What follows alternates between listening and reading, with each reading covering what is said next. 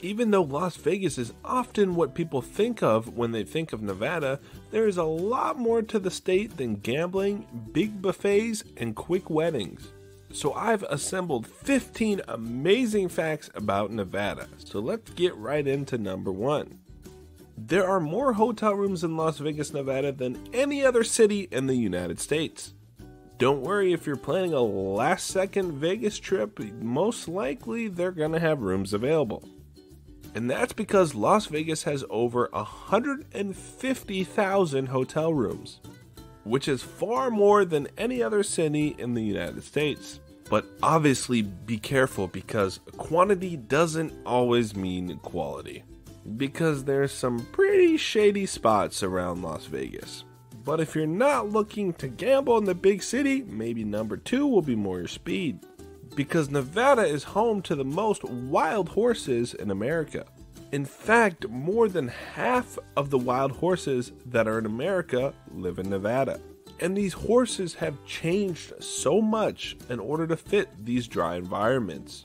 Everything from the shape of their teeth to how they control their body temperature has changed so that they can truly thrive in this dry climate. But if horses are boring to you, maybe number three will pique your interest. And that's State Route 375, or better known as the Extraterrestrial Highway. This highway is 98 miles long, right in the smack dab middle of Nevada. Along this route, there is a long history of UFO and alien sightings. And also, Area 51 is located right off this highway. This highway has been a place where a lot of UFOs have been seen over the last few years. Or, of course, at least that's what people claim. And they even have a sign that says Extraterrestrial Highway, so now it's actually pretty official. But what's even weirder than this highway is the official law that Eureka, Nevada made. Which brings us to number four the Mustache Law. There's an actual law in the town of Eureka, Nevada that men with mustaches are not allowed to kiss women. It's absolutely the strangest law in Nevada's history. They also have a law that it's illegal to ride a camel on a highway, but that makes a lot more sense than the mustache one. But you know what doesn't make a lot of sense? Number 5 and that's that Las Vegas consumes more shrimp than any other city in the United States. The city consumes over 60,000 pounds of shrimp per day. You think for a city literally in the middle of a desert that a seafood wouldn't be their specialty. It must be all those Las Vegas buffets. Let's move on to number 6. The oldest human mummy ever found in North America was found in Nevada.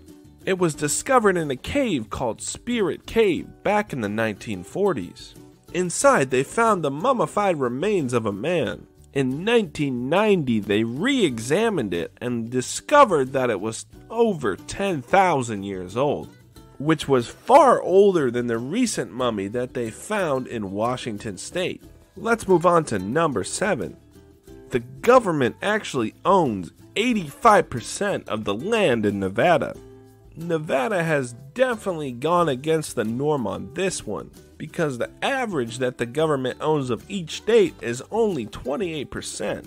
In 2015, an article was released saying that the government owned an amazing 58 million acres out of the estimated 70 million acres in Nevada. Between the Bureau of Indian Affairs and the Bureau of Land Management, it's just amazing that there was any land left over. But what's even more interesting is what's inside all of this land. Which brings us right to number 8. Nevada has the most gold out of any US state. Nevada produces over 80% of the gold that is mined in the United States. And it's the fifth largest source of gold in the entire world. And you might say, damn, that's a lot of gold. Which brings us to number 9. There's enough concrete in Nevada's Hoover Dam to build a two lane road from San Francisco all the way to New York. The Hoover Dam was the largest public works project in the history of the country. and it's over 700 feet tall and weighs over 6 million tons. And like I said before, if you used all that concrete to build a road, it would stretch thousands of miles, which is really long, but not as long as number 10.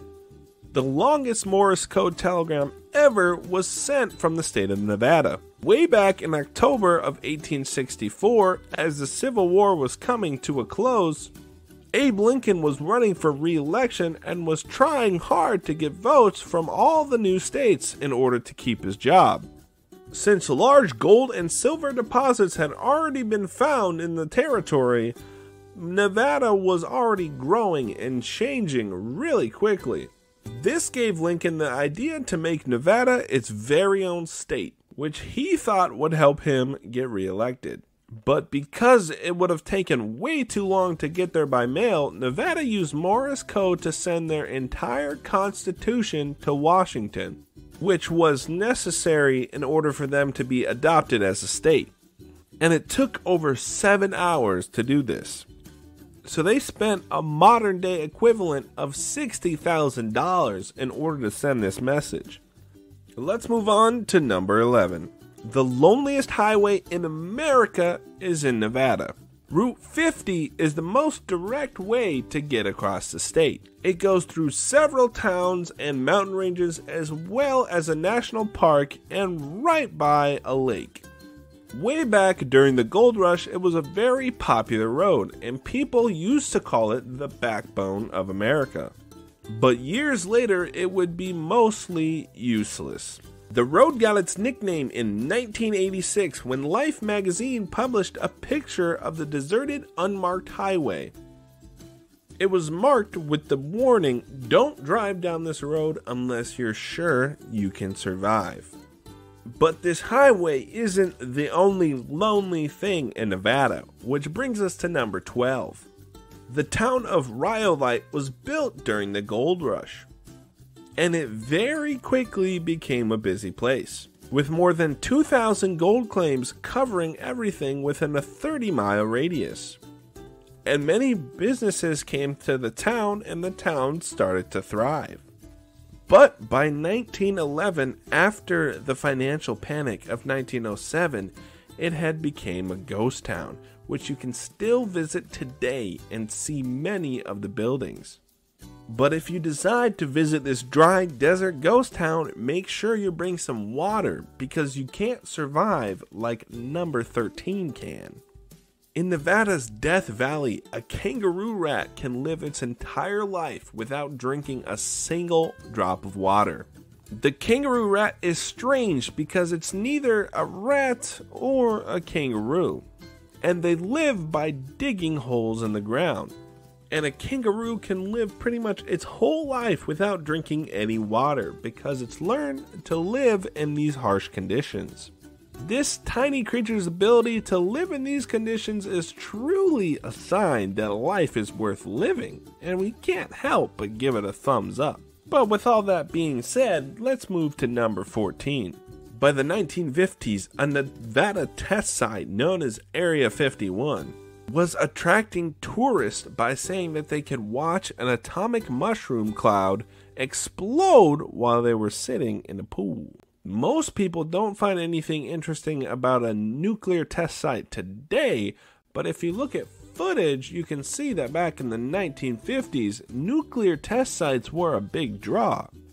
In fact, over 200 reporters came to watch a nuclear bomb go off. People in Las Vegas only had two weeks to prepare.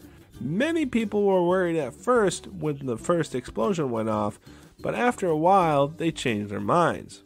Shortly after some of the first tests, the Chamber of Commerce started promoting this nuclear test site as a must see attraction. And a whole tourism business was built around it. From atomic lunchboxes to the Miss Atomic Bomb beauty contest, there was always lots of ways to make money off of this testing site. About one bomb went off every three weeks on average.